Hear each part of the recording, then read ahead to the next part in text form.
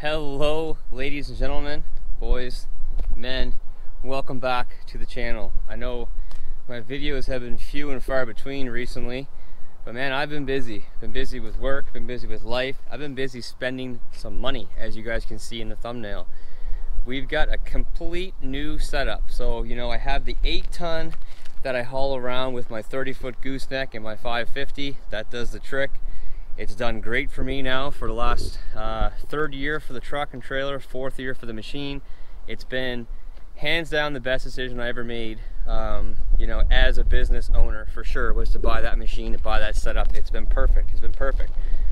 So, you know, I'm looking at getting into more things, smaller things, uh, just taking on more work instead of having to jump one machine around to do little odds and ends and things. I can have two machines one smaller machine to do small stuff, you know, smaller brush for, well, hold on, I'm not gonna give too much away there. But I like a smaller machine and a bigger machine to do different applications and I'm not bouncing and around from site to site. When I get emergency phone calls, I'm not hauling a machine off one job site to another. I have a backup and you know, I can haul it around with this truck right here or my 19350. So the first thing I'll show you that we got was we got the new Gen Y torsion hitch. So you guys know that I swear by these things. I have the 16,000 pound one and I absolutely love it. It's done amazing things for me. I've had it for five years, four or five years, and it's still, it, it's, it's basically new. It doesn't look new, but it's basically new. You know, they are expensive hitches. They can be six, seven hundred bucks, but you buy one and it's good to go. You got adjustable, you know, adjustable points depending on how high your truck is. Of course, this truck's pretty high, so I'm on the bottom setting, but you can flip the hitch over and it gives you more clearance along the ground and then you have more, you know, adjustability going going down as well. But that's that's what we got. This one is the 21,000 pound, so this goes to the two and a half inch um, coupler. So that is the first thing. Second thing is this 20 foot equipment hauler. And this is the B-Wise trailer. B-Wise, Bri-Mar, you know, they're basically the same thing. This is just a line they're putting out. And this is a beautiful, beautiful trailer. I was very, very lucky to find this trailer. This equipment purchase and everything happened pretty quickly and I was scrounging around to find trailers and I was looking at a couple um, other trailer brands. I'm not gonna not gonna mention names, and they maybe would have done the trick, but it definitely was not built like this. It was not built like this at all. It was not a whole lot less money and getting half the trailer really. So this is a 20 foot long. It has two 7,000 pound, but it is a 15.4 GVWR trailer. As you can see, right here. I can't really bring you guys in there, but it's there. So this gives me 12,100 pounds of payload on my deck. And my equipment is not gonna be that heavy, but this thing is built, guys. This thing is built.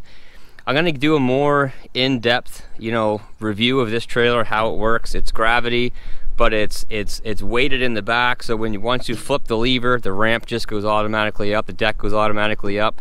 You don't have to step on the end. That's how it works today. We'll work that way down the road. We'll have to wait and see. But it is a gravity. It's not uh, power. You know, this is spring loaded.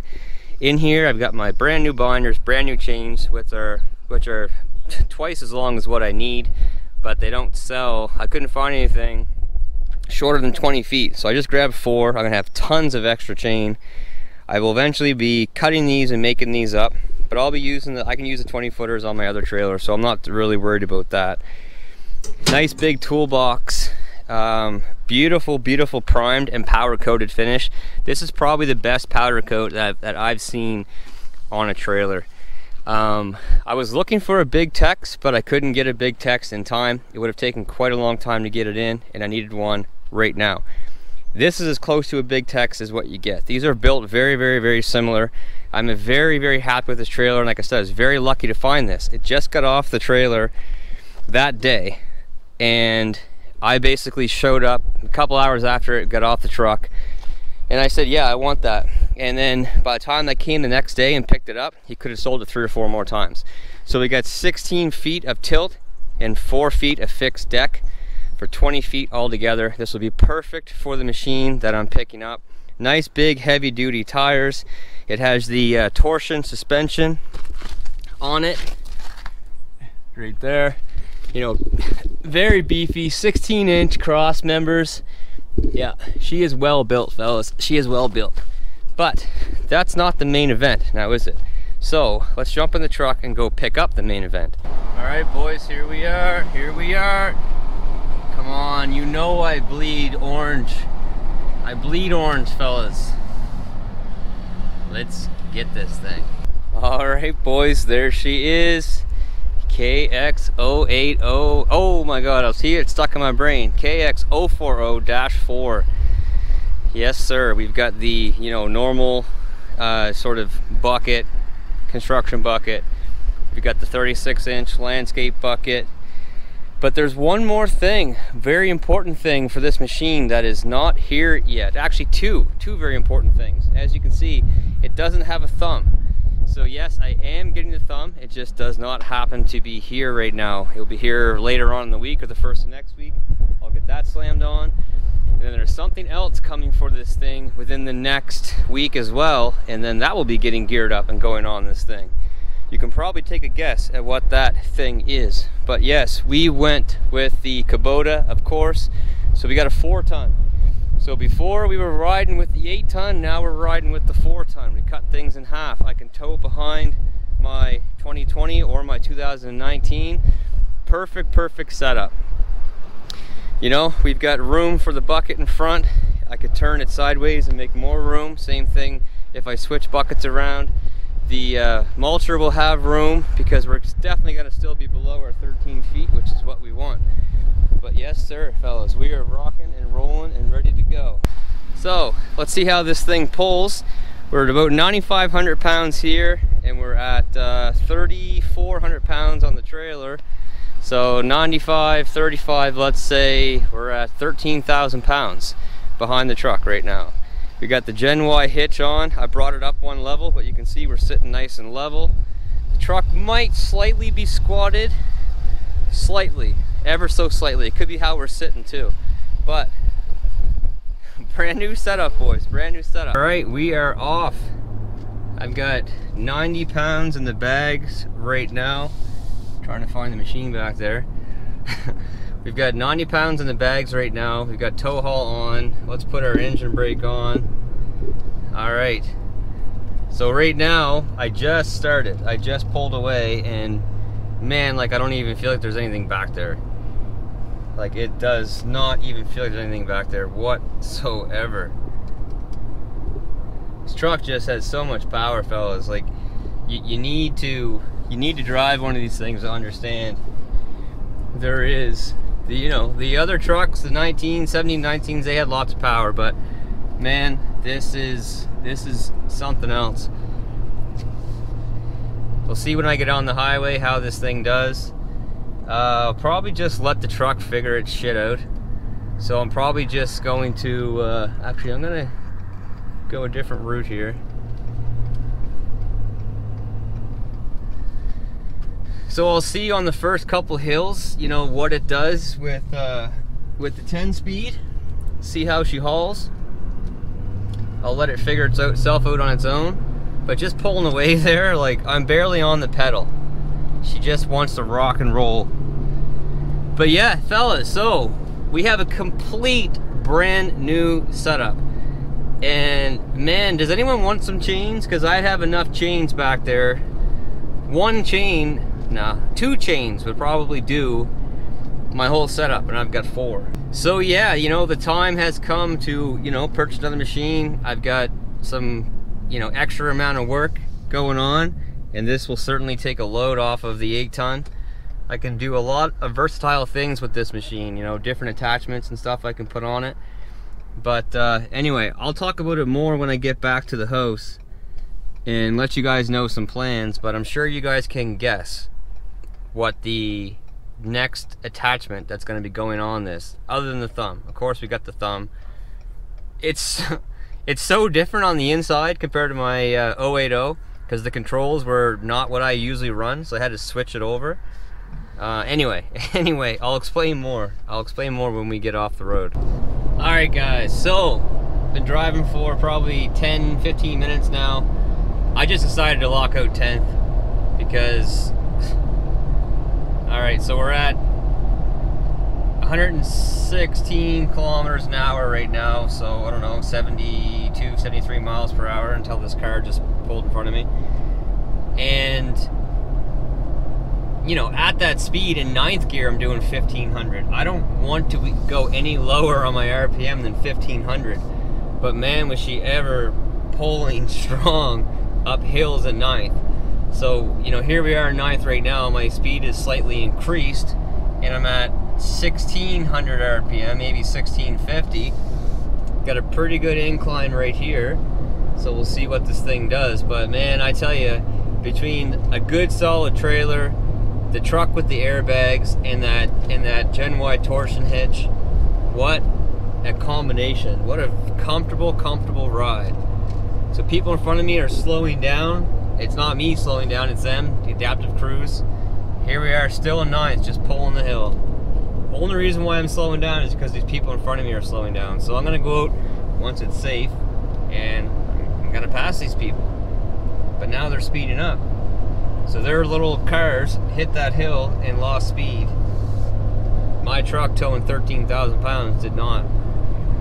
But yeah, I'm I'm very very very happy because this is probably going to be the setup. The majority of the time will be this truck hooked up to this trailer hauling this machine and it just feels fantastic. Again, I definitely could put it up in ninth gear, I mean 10th gear, and it, it would be cruising along here no problem but I like the RPMs where they are I don't want to lug the engine and I know guys I say it all the time but keep in mind we've got 37 inch tires on this truck 37 inch tires with the leveling kit on this truck hauling this like like nobody's business it just does it it doesn't even care all right guys we made her back it is an absolutely beautiful, beautiful night here tonight. Grass is finally starting to get green. Trees are budded. Sump pumps going in the pond. Dogs are cruising around. Birds are chirping. Finally, finally it feels like, you know, 2020 has been brutal for everybody. But it just, this just makes me feel so much better. But there she is, fellas. There is the brand new setup. I mean, including the truck, really. So, brand new truck, you know, what is it now? Six months old. Brand new trailer, three days old. Brand new hitch, three days old. Brand new excavator, a few hours old. The bucket, the bucket's one that they had in their yard. You can see the paint difference. They said, do you care? I said, absolutely not. Just get it give it to me. I'm working this thing tomorrow. But first off, let me tell you, that was the most enjoyable towing drive that I potentially have ever done. This thing is just ridiculous with power. Ninth gear the whole time, up hills.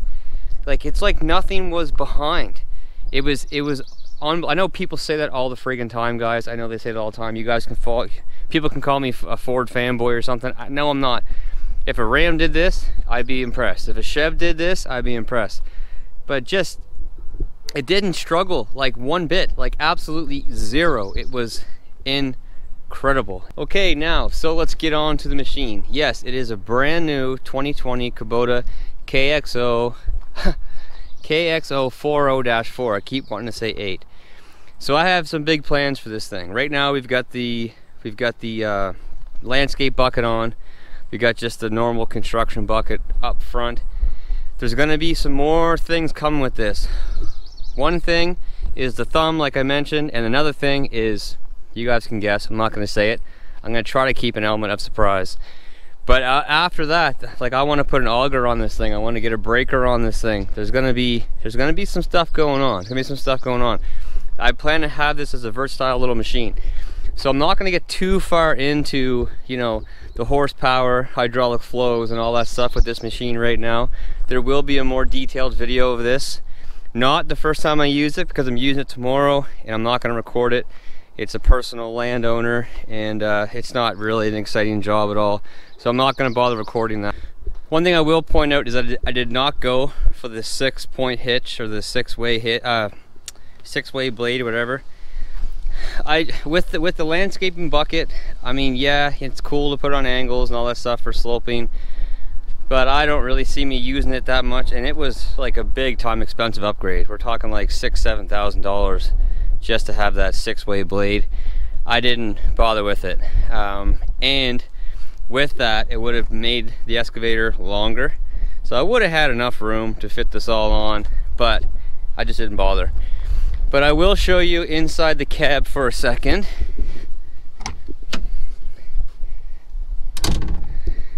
It's so weird getting in this thing. Everything is just smaller, it's, but it's not really that small, but for some reason the seat feels like it's cranked way up in the air. And from what I can tell, I have it down all the way, but I'm not sure. I haven't even had a chance to see if I can adjust this seat yet. But when I got in it, the controls were wrong, and I pulled this down, and on my on my eight ton, the lever's right here. Well, on this, it's this lever right here. You got to flip this up and flop that over, then you can pull this up or push that down, and you are good to go. Of course, we got air condition, we got a radio, air condition here. Uh, you know, all of our controls are identical to my 8 ton.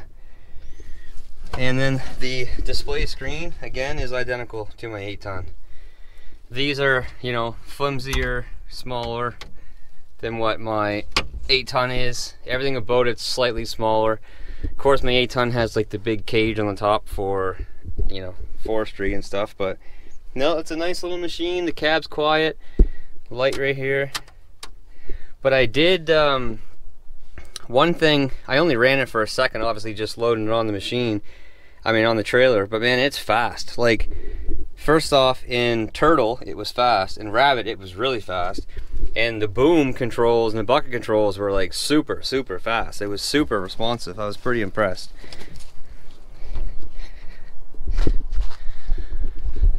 But anyway, guys, I mean, stay tuned. Obviously, there's going to be a ton more videos on this, on the trailer. We got the new hitch, you know, obviously the truck. You guys all know that and yeah we're gonna see what this little machine can do I'm, I'm really looking forward to how this versatile how versatile this little machine can be but anyway guys that's it we spent some money that's for sure. Uh, in this last year we've definitely spent some coin. But you gotta spend money to make money right? That's what they say. Anyway as always you know what to do. Wow. Okay until next time take care stay safe and we'll see you then. Bye